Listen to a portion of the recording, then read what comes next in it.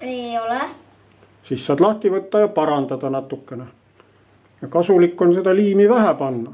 pärast me paneme need marsimajad, mida te teinud olete, selle kollase marsi peale, et meil on, meil on kollane marss.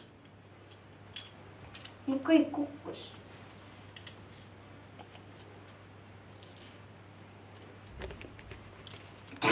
kõik läks katki. kõik läks katki.